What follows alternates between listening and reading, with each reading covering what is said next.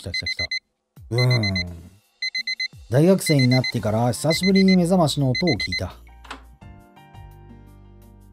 今日はテレビ局にバイトに行かなきゃいけないんだ。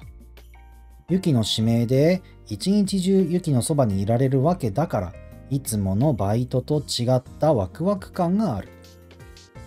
さあ行こう。もともと AD のバイトやってるんだよね。受付に自分がスタッフであることを告げて、ユキの控え室へと向かった。森川由紀と書かれたプレートのあるドアを開ける。何度かテレビ局でバイトしたことはあるけど、控え室ってやっぱりまだちょっと緊張する。おはよう東也くんさすが遅刻しないねえらい歌番組用の衣装やな。これから仕事ってにもかかわらず、いつもみたいに笑うユキ。まあね。おはようございますそばに万人みたく控えている弥生さん。今日一日よろしくお願いしますあ、はい。こちらこそ。相変わらず事務的な態度。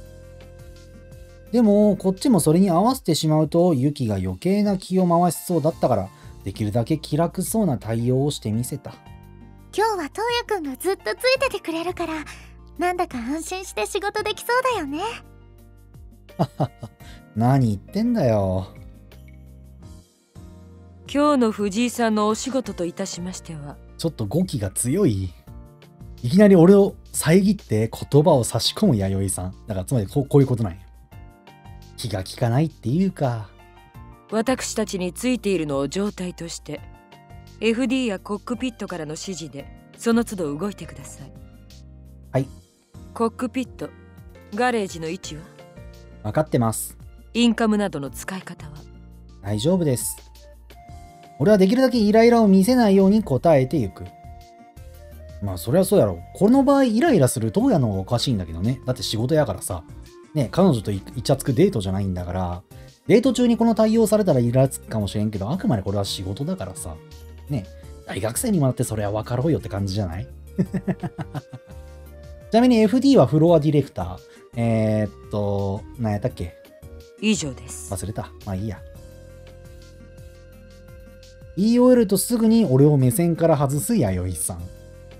頑張ろうね東也くんあ、そうだね。ユキも頑張りなよ。再び何か言いたそうに俺を見つめる弥生さん。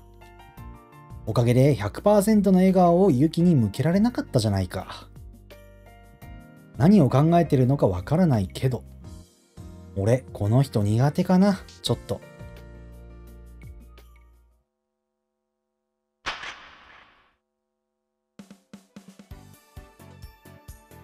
撮影中。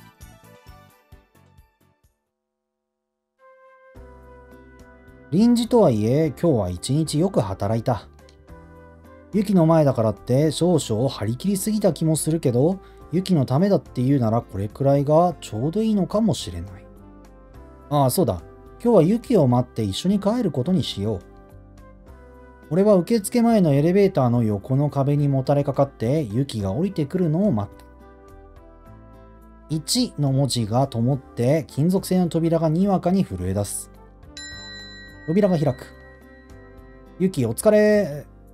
俺は大行に両手を広げてユキを迎える、迎え入れるふりをしてみせる。だけど、エレベーターから出てきたのはユキじゃなかった。あ。エレベーターの中で無表情に俺を見つめていたのは弥生さんだった。俺は真っ赤になり、情けなく手を下ろす。す、すみません。弥生さんは小部屋の中でいつもの温度を感じさせないまざして俺を離さない。そりゃそうやろ、お前が目の前におるからな。動線の先におるからな。ユキさんでしたらまだ上ですもうすぐ来られると思いますわとても人間に向けられたとは思えない無感情な声。そしてそのまま俺の横を通り過ぎ、受付の人と何か事務的な話をして、奥の方に歩き去っていった。車取りに行ったんかないつの間にかやってきたエレベーターが再び扉を開けていた。振り返ると今度こそ本物のユキが出てきた。トウヤく？ん待っててくれたんだ嬉しそうに笑って俺の腕に絡みつくユキ。どうかしたの？トウヤく？んぼーっとしたままの俺にユキが上目遣いに尋ねる。え、何？なんか変な顔してるよどうしてあんなロボットみたいな女がユキのマネージャーなんだろう？ああ、いや、なんでもないって。っていうか、変な顔ってなんだよ、この。俺はユキにデコピンを入れる。思いのほかクリーンヒットでユキは少し本気で言いたがっていた。少し本気って何？ああ、ごめん。俺は泣きそうな顔で彼女のおでこを慌てて撫でてやる。そうだ何か思い出したみたいにいきなりぴょこっと顔を上げる。おでこをさすっていた俺はのけぞりそうになってしまう。今日も弥生さんの車で送ってもらうことになってたんだどうしようトウヤくん一緒に弥生さんに送ってってもらおうかああ、いいよ、俺は。ユキ、送ってってもらいなよ。疲れてるんだろ？でもせっかくトウヤくん待っててくれてたのにいいって、気にしなくて。どうせ俺も仕事だったわけだし。それにさっきのこともあるし。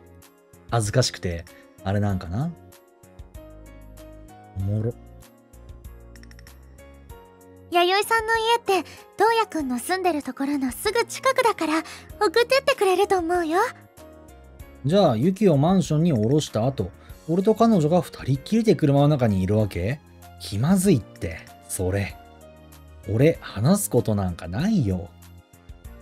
そうでなくても彼女は苦手だ。うんだから気にしなくていいって。交通費だって出てるんだから。ドロリ、ほら、あの人を待たしていいわけ？駐車場にいるんじゃないの？いけないそれじゃあごめんねトウヤくん今度は一緒に帰ろうそう言ってユキはこっちを振り返ったまま、さっき弥生さんが歩いていった方にかけていった。前見て走らないと転ぶって。ユキは、じゃじゃ、俺はユキのスリッパの音が順調に消えていったのを確認して、から曲を出た。いいよ。はい。これがまあ AD のイベントですね。よし。じゃあ、こっからは気を取り直して、あれやな。あの、岬の攻略に勤しもうか。ゴーゴーゴーおらんのよな。あ、おったおったおった。エコーズ。今日はエコーズでアルバイトか。俺はエコーズに向かった。いらっしゃいませ。あ、美咲さんだ。こんにちはいらっしゃい。福田氏何か話そうかな。仕事中なのに。あ、趣味の鍵取れた趣味の鍵取れたけど、とりあえず文芸をそのレベル1から2にしたいな。美咲さんって絵は好きな方だっけ？好きよどんな絵見るの？美咲さんって。うんどんな絵って言われても風景とか人物とかさ、うんなんか困ってる。ミレーとか知ってるかどうかだけどあの人の絵ってすごく好きでわからん。ミレー。教科書にあったかなどんな絵だったかはっきりとは覚えてないけど。落ち穂拾いとか板書とかああ。あ、聞いたことあるかも。本当？種をまく人とか。あ、ダメだ。またわかんなくなっちゃった。でも一度は見てる絵だと思うよ。私そういうあったかい雰囲気がなんとなく好きで。ふーん？家族とか特に農村の家族とかがすごくすごく優しく描かれてて。でもいい加減なこと言っちゃうみたいだけど私そういう優しい絵だったら誰の絵でも大好きになっちゃうからなるほど。美咲さんらしいよね。いろんなもののす、ん？いろんなもの好きになれるって。そうかな再び照れる気配を見せる美咲さん。とりあえず俺は美咲さんの感性を称えるのは我慢することにした。おー。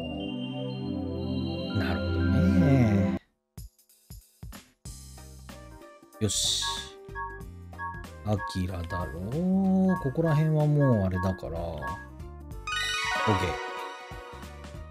じゃあええ。イベントなんだよな。イベントをとりあえずこなしてかんと、結局会話のロックも外れんから。お、いいね。順調順調。大学へ行こう。あ、美咲さんだ。美咲さん、藤井くんこんにちは。こんにちはどうしたの？何を話そうかな。OK。うん、そやな。文芸行こう。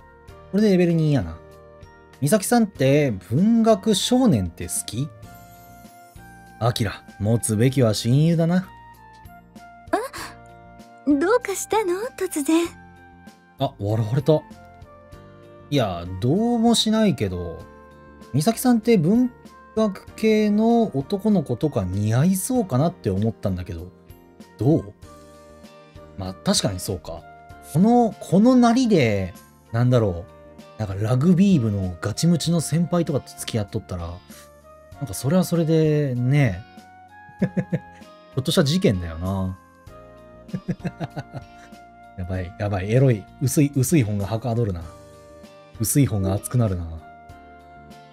どうってお見合いみたい また笑われてる、俺。ごめんなさいでも好きかな？そういう人もも。ということはガチムチも好きなのかな？うん。好きかな？か。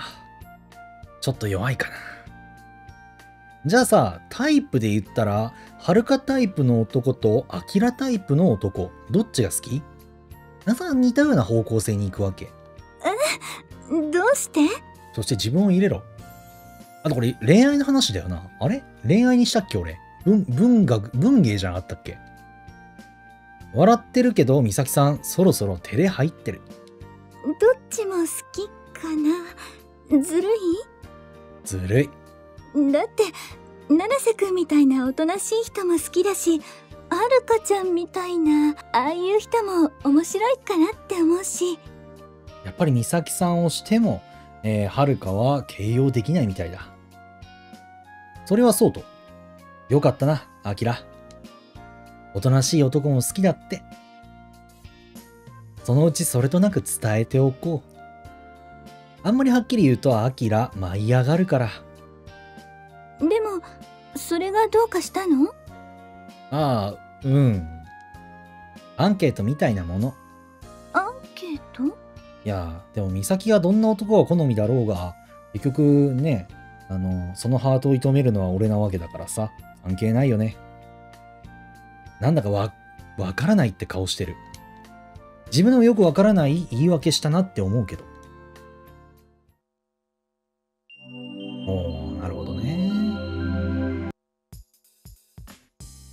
今日はまなちゃんの家庭教師の日だ。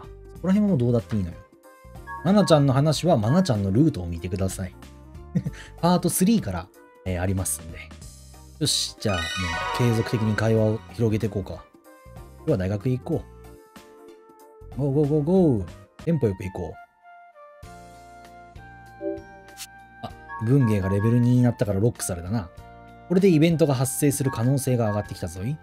えーと、そうだなぁまあ、予定通り、恋愛。まあ恋愛か。文芸、恋愛、うーん、世間話くらいのレ順番でいくか。せやな。恋愛か。さきさん相手に恋愛の話って、はいなんだかわからないって顔で微笑んでる。いや、美咲さんと好きな人とかの話ってしたことないなって思って。ゆきちゃんのこと？ああ、いや、そういうわけじゃないけど。そうなんだよな。美咲さん、いつも人のことを考えちゃうんだな。その恋愛に意味不明に口出しして全部ぶち壊すやつと違って、美咲さんって本当の意味で考えてくれるんだ。本人の恋愛話にはならないわけだよ、逆に。どうかしたの？ああ、うん。こういう人だから、美咲さんって。こういう人ってどんな人を好きになるんだろうな。今ガチムチのラグビー部だって。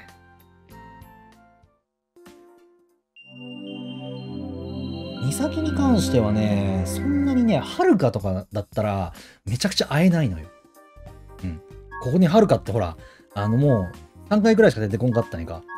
ねもうだいぶ、だいぶこれやっとるけど。うん。はるかとかは大変だったわけさ。あきらと、えーっと、みさき、それから、りなくらいかな。は、よく会えるから、まあ比較的攻略は楽だよね。会話の選択肢さえ間違えんけりゃ。よし、じゃあとりあえずびっくりマークが出たってことはイベントだ。頑張るぞい。イベントか。なんやろ。この大学ももう少しで学園祭だ。広場では特設ステージのための機材が運ばれてるし、演劇部や声楽部の練習の声に、ロッケンやジャズ犬の音が入り混じって、校内は何かと慌ただしい。俺はとりあえずどのサークルにも入っていないんだけど、このお祭りの雰囲気は大好きだ。おかげで最近の授業もなんとなく閑散としてる。授業を終えて講義室を出ると、ちょうど女の人が通りかかった。あら、藤井くん。あ、美咲さん。美咲さんも授業だったの？うんうん。ちょっと、えーっと、ふと見ると、美咲さんは後ろの手にラップトップタイプのワープロを持ってる。わー、ワープロ。そりゃ1990年代だからね。ワープロだよな。ノートパソコンなんかが、まだ、ノートパソコンっていつだ？まともなのが出始めたのって2000、もう Windows 98とかがあるからな。だそれくらいだよな。Windows ME とかさ。だから1990年代の後半くらいやろうな。うん。だから同じくらいや。やっとノートパソコンが出始めとる時代だから、ワープロか。でもあれだな。美咲は、えっ、と、確かね、えっ、と、演劇部の脚本とか書いたりするから、別にそのパソコンじゃなくても、うん。あの、ワープロでいいんだよ。文字書くから。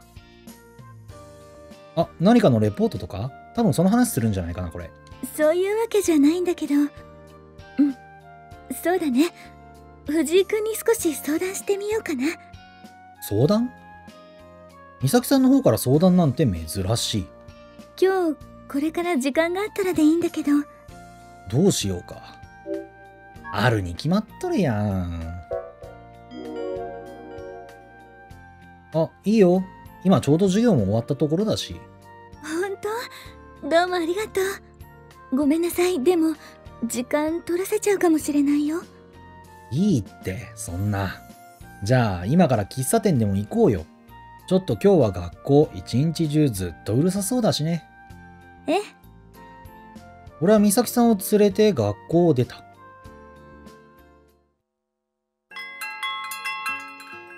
もう昼下がりで普段から客の少ない店内には客の姿もなく、えー店の中は一層がらんとして見えた。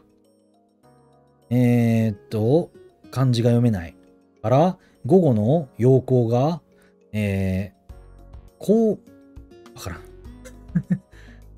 空間を霞んだように演出している。それで相談って？うん。えっと、何？ちょっと近い。ドキッとする。美咲さんはワープロを持ってみたり、カバンを持ってみたりと、何から始めようかと一通り慌てた。慌てた。学園祭の出し物のことなんだけど。あさっき言っとったやつやね。うん。あれ？美咲さんも俺と同じでどこのサークルにも所属してなかったはずだけど。それとも何かのイベントのスタッフにでもなったのかな？まあ美咲さん人がいいから。と美咲さんはカバンから大きめの茶封筒を取り出したこれ読んでみて。うん。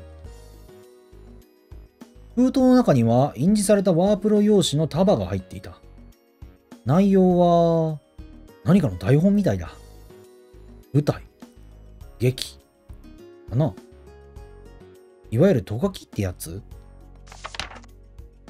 うむ。うむ。うーん。鬼の？わあ土着的でいいのかな？鬼の土着的民間伝承と異世界人のリンカーネーションとをバックグラウンドに現代のラブストーリーが展開していく SF だ。どういうことよ？もうワードが入ってこん。結構面白い。面白いんだ。どうかな？うん、面白いよ、これ。これを題材にレポートでも書くの？いいよ、俺も手伝う。面白そうだし。察しが悪いなだけど、美咲さんは真っ赤になってガブリを振った。そうじゃないのそれ私が書いたのえ？恥ずかしいけどやっぱり誰かに見てもらわないと嘘この照れ方を見れば、えー、呆然なんだけど。美咲さんにこんな才能まであるなんて。まったく万能もいいとこだ。面白いよ、最高に。なんてタイトルなの？ところで。まだ決めてないけどどんなのがいいかな？うーん、なんかこう、かっこよく漢字一文字をバシッみたいなのが、すごいこと言うな。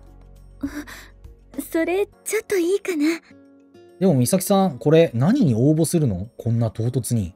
ううん。そうじゃなくて今度の学園祭の演劇部の舞台にどうかなとか思って。ああ。思わずだらしない声が出た。演劇部って、だって美咲さん、サークルは、うん。私は部員じゃないけど友達で脚本家志望の子が演劇部にいるの。ああ、でその子が舞台の脚本と演出をすることになったのだけど書いた脚本が他の部員の人たちにめちゃくちゃに言われたみたいでなんだか哀れな話だ。うちの演劇部の人間は、とりあえず他人を、他人の策をけなすところから始めるからな。人間のクズやんけ。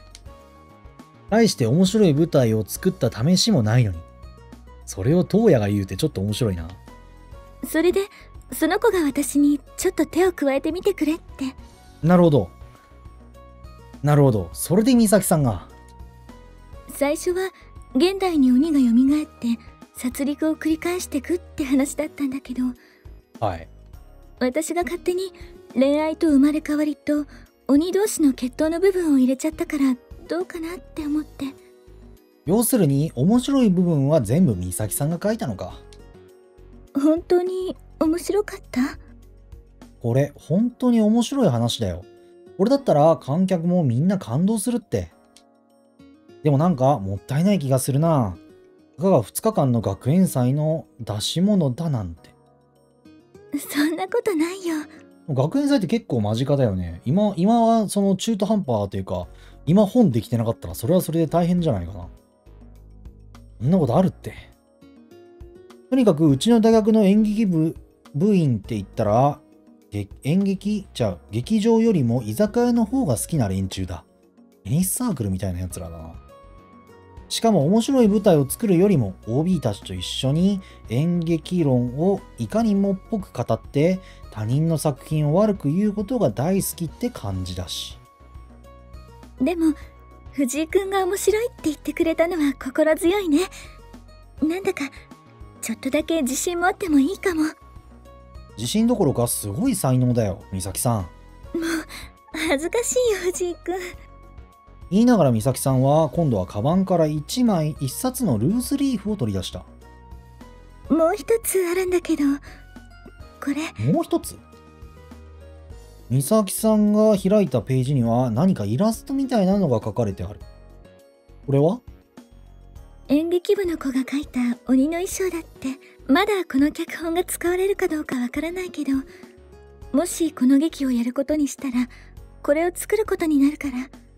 はあんえ演劇部の人がやるんじゃないの？デザインはそうみたいだけど何着も作るってなると私とかも手伝わされそうなの。どういう演劇部だ？でも美咲さん大変そうだなどうしようか。それはもう手伝うよ。わかった。俺も手伝うよ。美咲さんにいつも面倒見てもらってるしこんな時くらい俺も何かしないと。うん。